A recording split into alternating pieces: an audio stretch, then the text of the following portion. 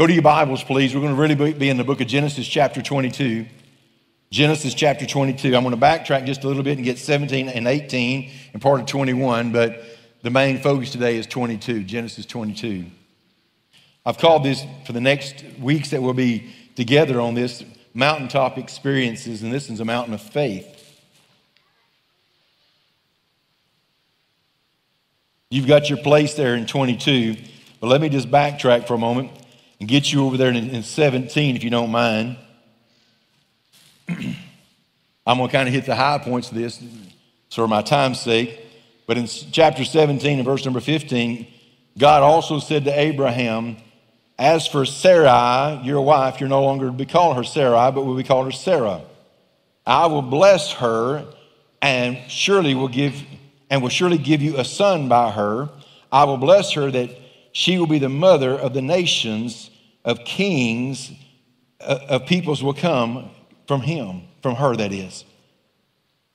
Abraham fell face down. He laughed to himself and said, Will a son be born to a man a hundred years old?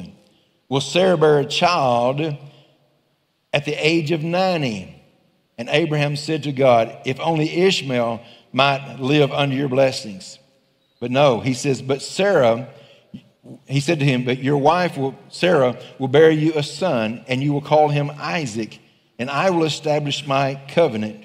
Now, in this, Sarah also laughs. He's 100 years old. She's 90. Word gets out, they're going to have a baby. Now, there's also a baby already born to him. It's a mess up. He shouldn't have gone that direction. Ishmael is out there. We're still having problems with Ishmael today, by the way. That's the problems that's going on in the Middle East right now between the various fighting groups. Now, let me just give you over, over there to uh, chapter 18, please. Look with me, verses number 9 in chapter 18. He says, Where's your wife Sarah? They ask. There in the tent. The Lord said, I will surely return to you about this time next year, and Sarah, your wife, will have a son. Now, Sarah was at the entrance of the tent, which was behind him, and Abraham and Sarah were already old and well advanced in years, and Sarah was past the age of childbearing. Verse 12 says, So Sarah laughed to herself and thought, Am after I am worn out and my master is old, how will I have this pleasure? Just everyday biology.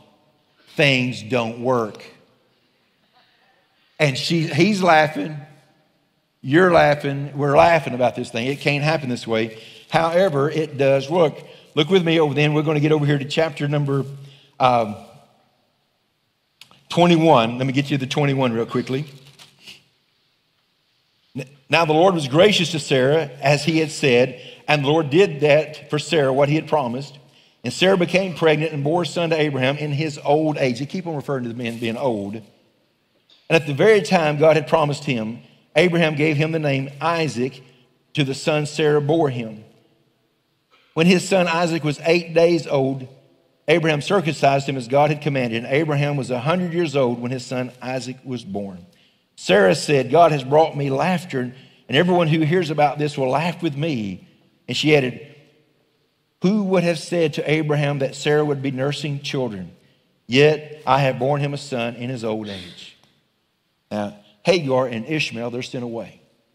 There's the issue there. He shouldn't have gone that route. You can read a little bit further to get to this. Now we get to Genesis 22. Genesis 22 is a very difficult passage. It's difficult because of the essence of what happens here. Look with me. This is some time later. Time has passed, years have passed. Sometime later, it says, verse 1, uh, chapter 22, God said, Abraham, he said, Here I am. Then watch these words. Then God said, Take your son, your only son, Isaac, whom you love, to the region of Moriah and here's the tough part sacrifice him there as a burnt offering on one of the mountains that I will tell you about. And early the next morning, Abraham got up, saddled his donkey, took with him two of his servants and his son Isaac. And when he had cut enough wood for the burnt offering, he set out for the place God had told him about. And on the third day, Abraham looked up and saw the place in the distance. And he said to his servants, Stay here with the donkey while I and the boy go over there. Watch this phrase next. We will worship, then we will come back to you. He's been told to sacrifice his son. Yet there's a promise in this. We will worship, we will come back. Abraham took the wood for the burnt offering, placed it on his son Isaac, just carrying a bundle of wood. And he carried the fire and the knife, and the two of them went together. And Isaac spoke up and said, uh, Dad? Yes, son. I got the fire and we got the wood, but where's the lamb? He's getting a little concerned at this point. Watch this. Verse number eight says, God Himself will provide the lamb for the burnt offering, my son. And the two of them went on together. That is a tremendous step of faith.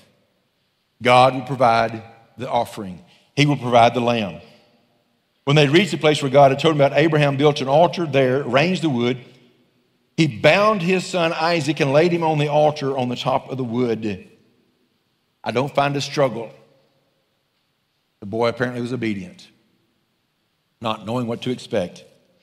Then he reached out his hand and took the knife to slay his own son. But the angel of the Lord called out from heaven and said, Abraham, Abraham. He said, Here I am. Same wording of calling here.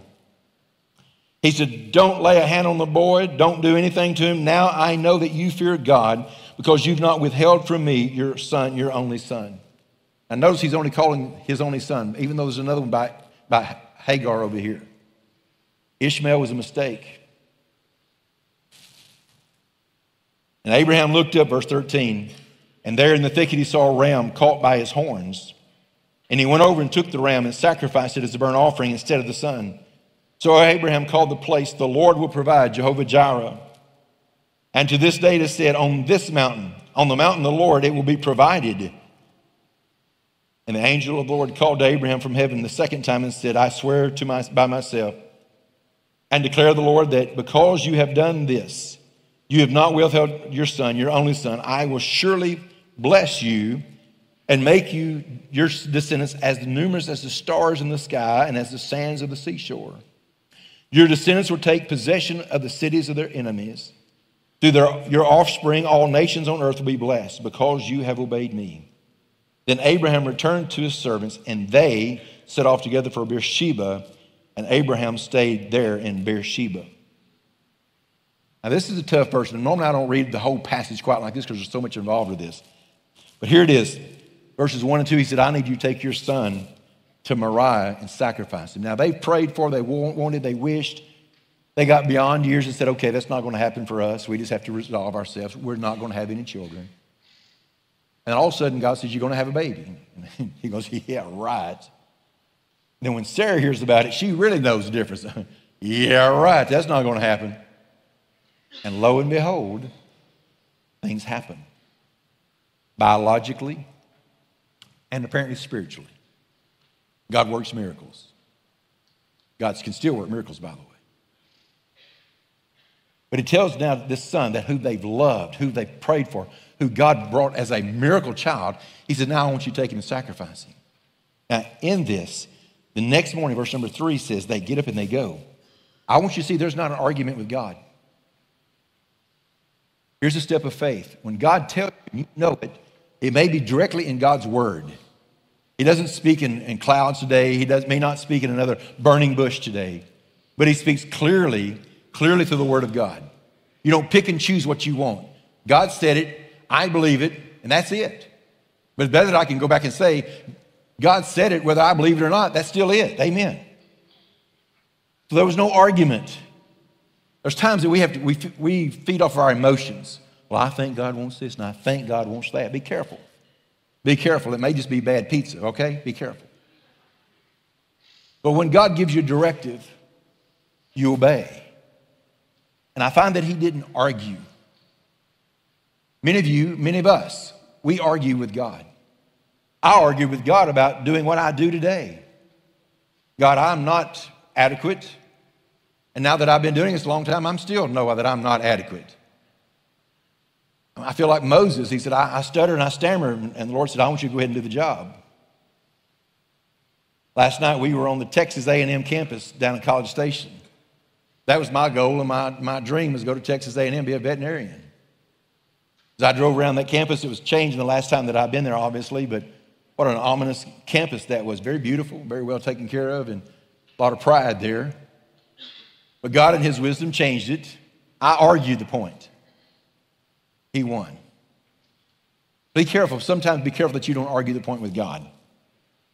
Now, in this, you also find this they're, they're going along. He gathers the, the, wood, he gets everything prepared. He didn't go halfway out there, he, he got everything ready to go the knife, the fire, the wood, and servants with him. And he tells the servants to stay behind. What I loved about that, the reason I emphasized it while ago, said, We will go worship and we're going to come back. He could have said, We're going to go worship and I'll see you guys later. Singular. But he's trusting God. He doesn't know about the ram in the thicket.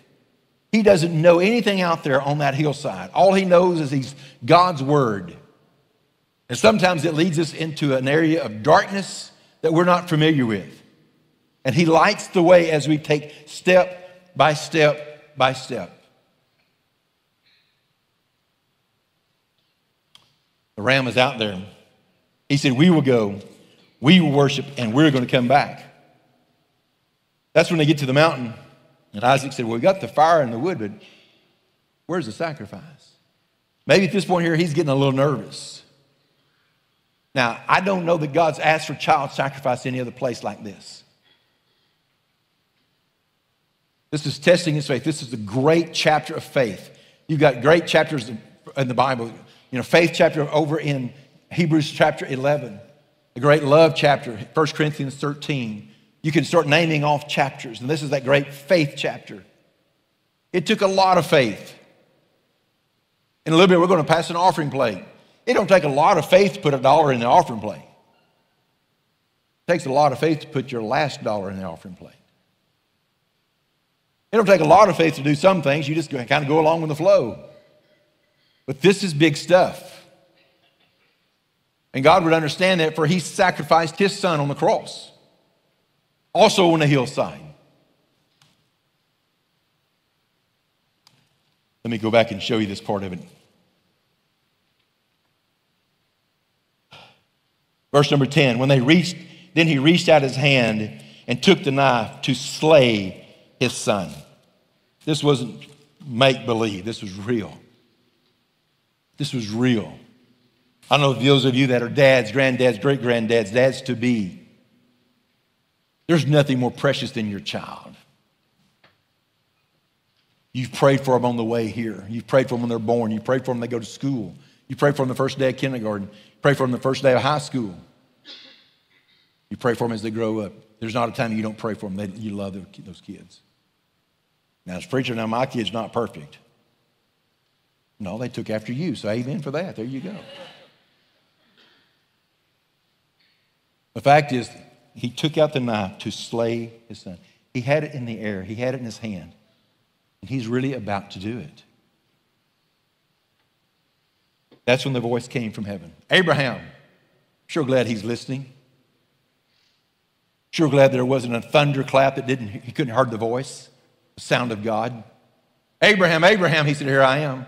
He responded to that to the call. He responded to that to where he was told to have a baby, then the call to take, and, take his life. And now to stop this process, he said, Don't lay a hand on the boy. Don't do anything to him. I know now that you fear God.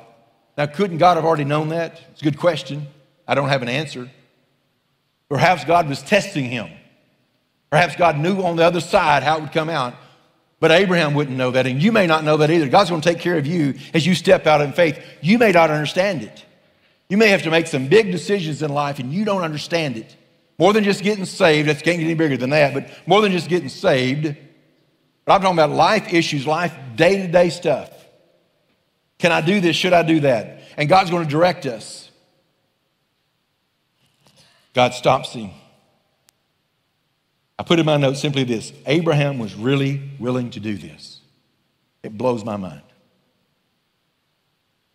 I've had people through the years, when you do this for 40 something years, you, you know, and you stand in front of people, you, sometimes you get the negative hits.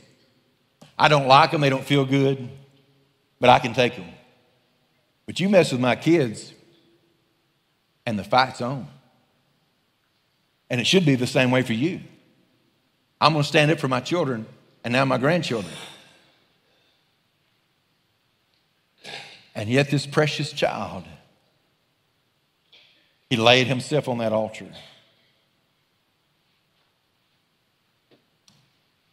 And God stayed his hand.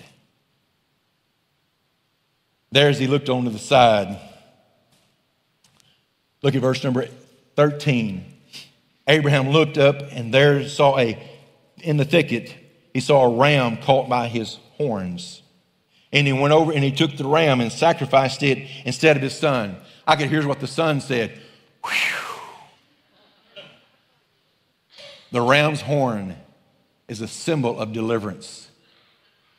The shofar, the horn that would, that's blowed, is a symbol of God's power and God's in the reference to deliverance. Jehovah Jireh, God will provide. The ram caught, that ram had probably, who knows how old it would have been, long enough to have horns, old enough to have horns out there that would have got caught as he's trying to eat, got caught in the brush. You could hear him probably bellowing and trying to get out of this thing. And Abraham says, You're it, buddy. Your dinner. Here we go. And takes and cuts his throat and he drains the blood and he puts him on the altar. Then it says this He went over and he took the ram and sacrificed it as a burnt offering instead of his son. So Abraham called the place, called that place, the Lord will provide. Now, in this, the follow up is this He said, Because you've done this, I'm going to bless you. I'm going to bless your socks off. You're going to be the father of many nations, many people. More than the stars, more than the sand. They're going to be everywhere. And they are. Not only in the Israel area, the Holy Land, but all over, all over the world. Abraham's people. Abraham's people, does, they don't know Jesus yet. Some do. Some have met the Messiah personally. They know of Jesus. They know of a great prophet and a great teacher. They just don't know him as a Savior yet. What a tremendous outreach to folks like that. They read through here, they can find it and correlate it to the New Testament. They like they want to stay with the old, obviously. But let me give you some things here that uh, refers to his willingness. Okay? One, we have to know his promises to be able to trust him. You've got to know him. You've got to know him. Trust him. Last night we did, we watched George Strait sing. May you may not be a fan of his, but he sold millions and millions of records and he's done a lot of good things for people.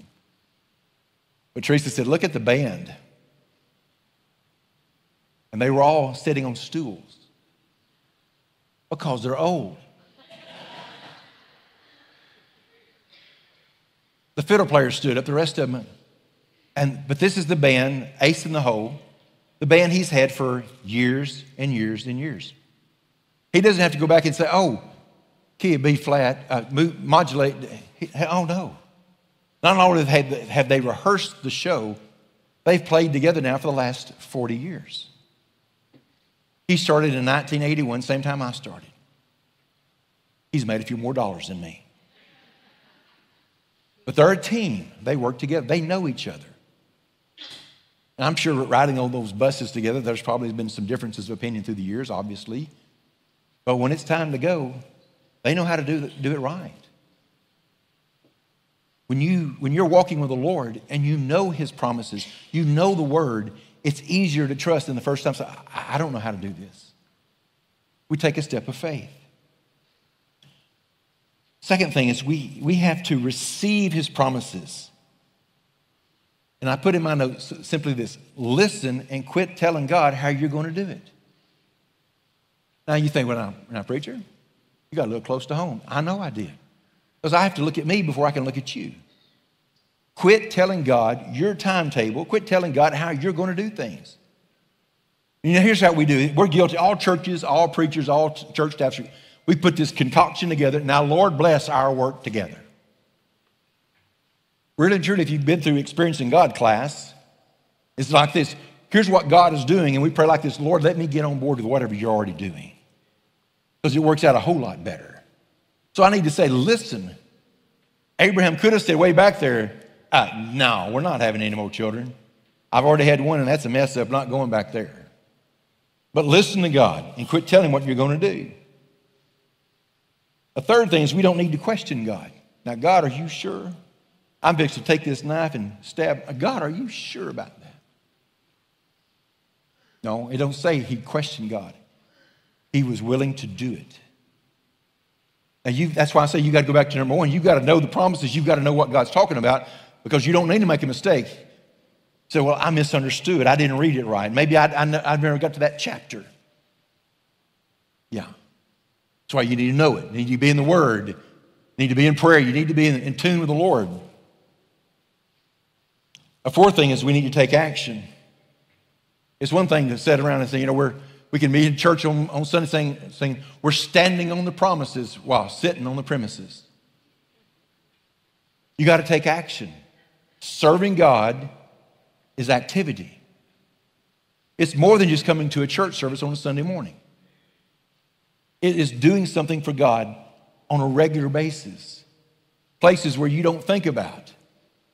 And that concert last night, I looked at it, was almost 111,000 people in that stadium, the largest concert he's ever done. But I'm a people watcher. And some of them were just nuts. But there were people from all ages young, old. Some were cowboy looking, some were not cowboy looking. And I looked around and I kept looking. I listened to the music, obviously, but I could hear people and of course, you know, I'm sorry, it's just me. I'm, I'm thinking, boy, I could see George say, hey, Pastor Ken, would you come up here and say a word? What I would have loved to share it with 111,000 people. I would have told him not only he's the king of country, but let me tell you about the king of kings. His name is Jesus. I'd have given my eye teeth and then some for that. But I looked around, I saw the crowds of people, all kinds coming together.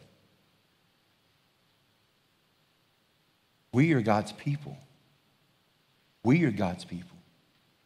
All types of people. Some from different backgrounds, some will never change you. We're not trying to put you into a mold.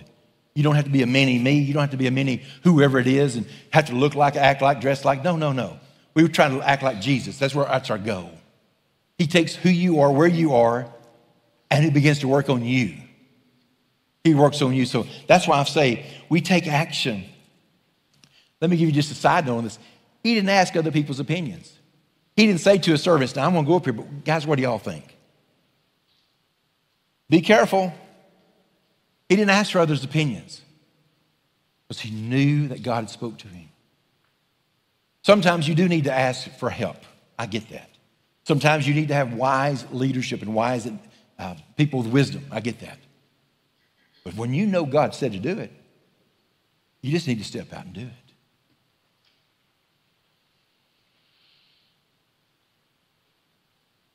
His was not a small step of faith. Most of us would never face what he faced. We would never face that. Thank God for that. But his, his, his big step, this was huge, but it resulted in huge blessings. They would go back and there would be a multiplication of God's people. His blessings were huge. And that brings it down to us today men, women, boys, girls.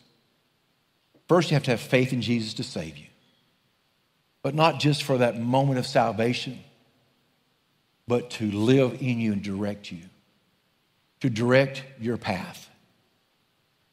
Now, when I traveled last night, I'm in the middle of the night. I'm in the middle, way down somewhere south. I'm 80 miles from Waco to College Station. I'm on Highway 6. I've only been on that road a few times in my life. But I have a little device in, in my pocket, and it's giving me directions. And I'm watching. Teresa's trying to navigate. I said, I think it says turn here. She said, No, it don't. Well, I think it does. Well, no, it don't. But I needed navigation. I needed, I needed some direction. Because I don't normally travel that road. Watch this, please. You have things in your life that you may not normal, normally travel. God may open some doors for you. I'll give you a real life example that we have in our, in our church family is our Heart of the City ministry. In the, our wildest imagination, from Rob to anybody involved, no one have ever thought it's doing what it's doing today. His goal, he said, I think we might can feed 100 people. Well, they do eight or 900 families a week now. It's the craziest thing in the world. So be careful. Be careful. Sometimes we have to let God navigate and we follow His will and His plan. Let me finish with this. Some questions. Are you living by faith or by fear? Abraham was living by faith. Honestly, I'm just, just transparent. Honestly, at this point, if it was me, I would be living in fear. That's now you're the preacher. No, no, I'm just me.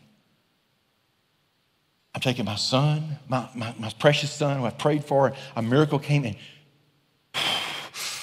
and I'm sucking up wind, and you want me to take his life?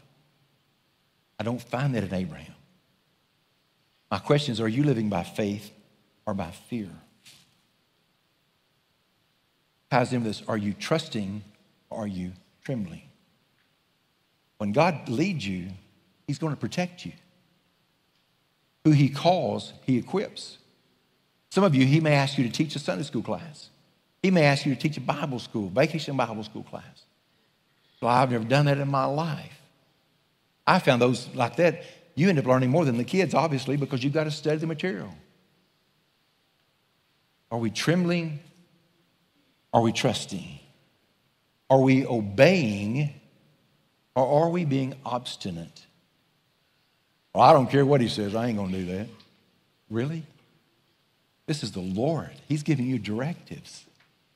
Now, Pastor, I haven't got that kind of directive. God hadn't spoke to me, and I, well, you really have. You've got a whole Bible full of directives. How to live, how to be a man of God, a woman of God, how to be a person of integrity, honesty, how are you going to conduct business tomorrow when you go to work? There's all kinds of things you can follow. The last question is Are we, are you, are we willing or are we waiting? I'm willing to go. I don't have to wait around. I'm willing to go.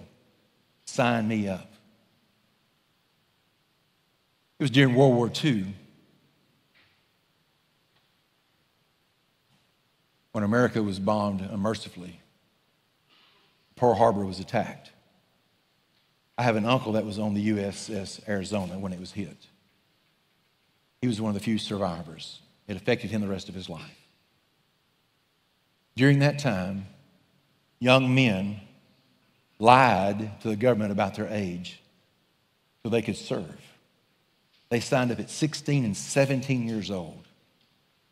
They lied so they could get in. They, they were anxious to go and serve and protect their country. Put me in, coach. Let me serve. Give me a gun. Let me do whatever I can to save. And that's why we get that great generation. And we've celebrated Veterans Day and D Day and those kind of things, those events. And they, they, they're charging in when others are running away from. Are you willing?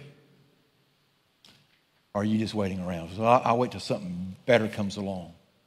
I'll wait for another opportunity. No.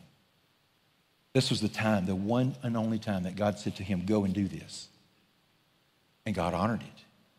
He was faithful, and God blessed it. God may be asking you, and I don't have a long list of things He's asking you. I don't have that. But in your heart, you may know it.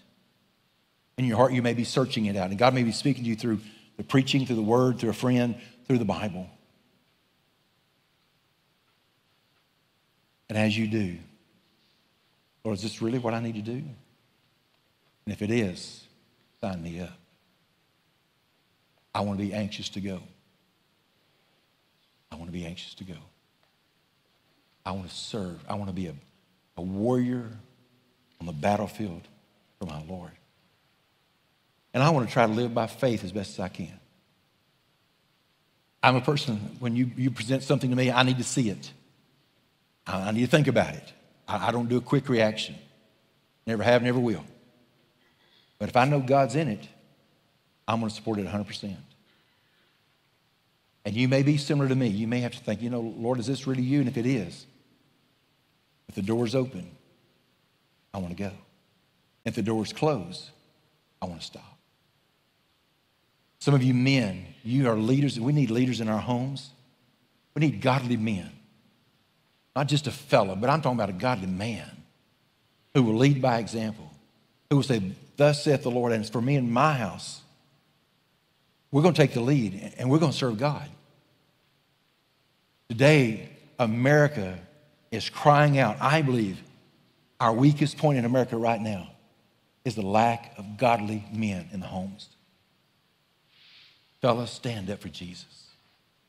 Ladies, support him and back him. Stand up for Jesus. Whatever your home is like, stand up for Jesus. Be a person of faith. I call that a mountain of faith. They went to Moriah. They found the ram caught in the thicket. The Lord will provide. Let me pray. Lord in heaven, you have ordered our steps. You knew exactly who would be here today, who would hear this, who's watching us even online. And there's someone here today needs to step out in faith and be saved. They don't need to question and when you think about it, even pray about it. They just need to get saved. They need to give their heart to Jesus today. But Lord, there's many in this room, they've done that. And I pray that they will be men and women who will make a difference, who will stand head and shoulder above others in their Christian faith. Lord, and I know it's tough. I know it's tempting to set back and just coast. But Lord, you've called us to serve you. And Lord, sometimes we're going to go through battles in our homes and our families with illnesses, with family crisis, outside of the church building. Lord, that's where really faith will kick in. We'll trust you when the doctors may not give a good report. We will trust you when the boss man says things are tough at the, at the job. We will trust you when our kids are struggling in school. We will trust you when our marriage is on the rocks. We will trust you, dear God, when others may not. I don't need their opinions. Lord, give me faith trust and hope in you. And I pray in Jesus' name, amen and amen.